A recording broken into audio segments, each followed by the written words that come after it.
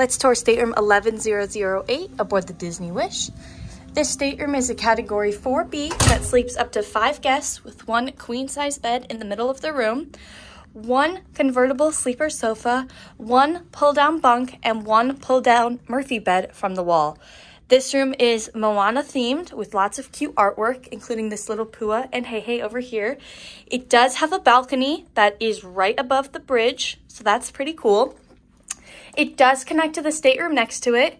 It also has lots of storage and includes a fridge right here.